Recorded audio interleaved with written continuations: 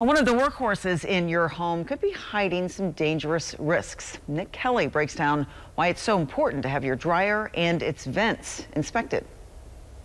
The dryer is one of those household appliances that gets quite a workout on a daily or weekly basis. Forgetting to keep up on maintenance, though, could lead to reduced performance and present some hidden dangers in your home. One important step is checking for lint. Built up lint can not only make your dryer work harder, it can increase the risk of a fire. The National Fire Protection Association says firefighters respond to more than 13,000 house fires each year, with 4% caused by dryers. The majority of those were caused by failing to clean built up lint, which can be flammable. While some dryer cleaning kits are tempting for do it yourselfers, experts say the professionals have the tools and know how to properly clean your exhaust and ductwork.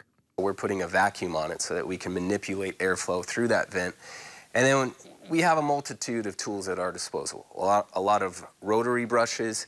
We have specialized air tools that we can run up and down that vent and make sure we're getting all that lint removed from stem to stern. Don't forget about the dryer itself. Make sure that the exterior of the dryer is free of any dust and lint, especially the back of the dryer.